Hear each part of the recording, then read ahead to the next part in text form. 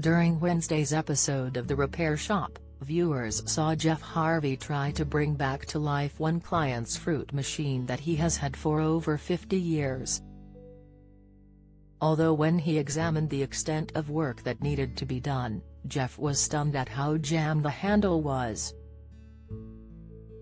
Tim McCann entered the repair shop to see his much-loved childhood toy restored to its former glory. Giving some background information on the machine, he told Geoff the fruit machine was given to him by his character of a grandfather at the age of 10. Calling it the best thing ever he told the experts his grandfather sadly died shortly after he received the gift which was partly the reason he wanted it to get fixed. He explained his own children had played with it growing up and now he has a grandchild of his own, he wants to teach him how to use the machine.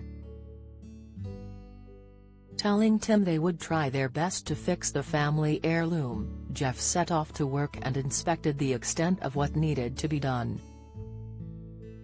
Trying to pull down the handle in the workshop, Geoff said, this is the most jammed fruit machine handle I've ever seen in my life, to be honest.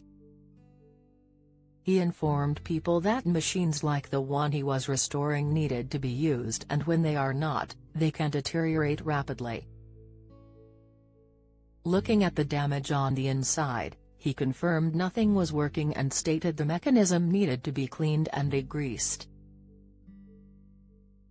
After getting the inside mechanics to work, Geoff was then tasked with trying to solve the issue on the jammed handle. Taking it apart from the machine, he said, now this should turn quite easily, and it's not. I've never seen anything like it it's like it's been welded together, so I need to stick it in a vise and a little bashing about hopefully should do it. After spending time on the vintage slot machine, it was time for Tim to then come back to the repair shop to see if Geoff had managed to restore the item. Before it was unveiled, he told Jay and Geoff he was nervously excited to be reunited with the item as he questioned how they'd be able to fix it.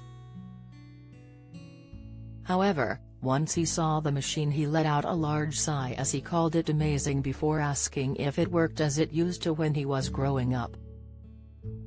Putting in some tokens, the slot machine started to whirl before landing on the same fruits leaving Tim thrilled as he said, I've won. Amazed that it was working, he had two more goes and was overjoyed as he won both times.